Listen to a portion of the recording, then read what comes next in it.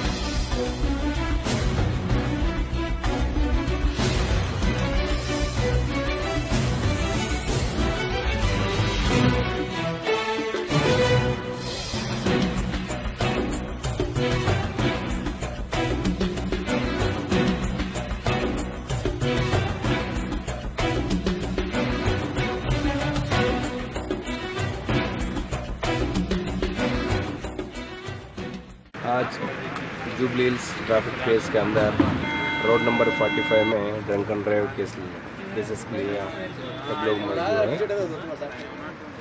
آج اب تک تو پندرہ کیسز بک ہوا ہے۔ اس میں امپورٹنٹ کوئی نہیں کار میں آفیسر کا بیل ہے اس میں۔ اور کچھ امپورٹنٹ سیلیبریٹیز کوئی بھی نہیں ہے اور کنٹینیو رہتا ہے۔ یہ کب تک کنٹینیو کریں گے سر رات میں؟ رات میں دو بجے تک کنٹینیو رہے گا۔ الیون او کلاک اسٹارٹ ہوا ہے۔ یہ دو بجے تک اسٹارٹ رہے گا اوکے سر